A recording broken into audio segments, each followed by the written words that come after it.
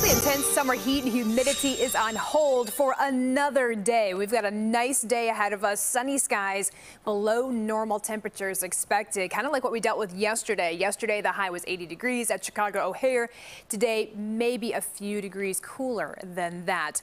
We do run a chance for some showers, mainly off toward the north tomorrow, but uh, virtually a rain-free forecast. The heat starts to build in by the midweek period, and even for tomorrow, you'll notice those warmer changes out there before we head back into the 90s. And humidity will also creep higher each day, especially through Wednesday, Thursday, and then throughout much of the weekend. But notice we're not shooting way up into that oppressive range. So we'll ease our way back into the heat again, and then also those hotter temperatures will follow suit. So for today, upper 70s for highs. Tomorrow, we're back in the 80s, uh, right around average for a June day, but then we're rolling through the 90s and very close to that for the midweek time period for Wednesday and Thursday. So a gradual warming trend is ahead of us.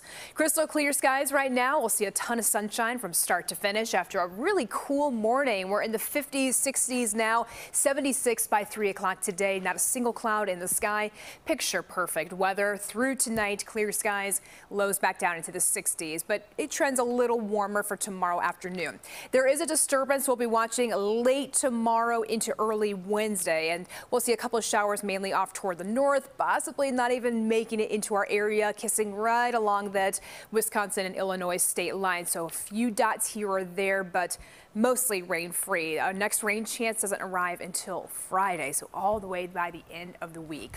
62 degrees as we start the morning. Dew points are low, 48. Humidity 60%. Wind right now west northwest coming in at 7 miles per hour. It is 63 in the loop. We have 53 out toward Aurora, Joliet 58, and also the upper 50s out toward LaPorte, Valparaiso 57, in around Chicago, Midway 64, Skokie at 62.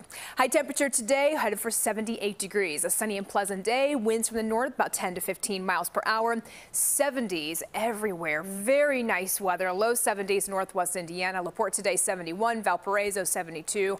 Aurora a high of 78. Seven day forecast 80s tomorrow. Upper 80s near 90 degrees on Wednesday. We do have that slim shot for a couple of showers a late Tuesday into Wednesday, but really banking on dry weather all the way through Thursday. Friday, a touch cooler, 88 degrees, scattered showers and some thunderstorms, and a nice weekend ahead. Saturday, Sunday highs in the low 80s again.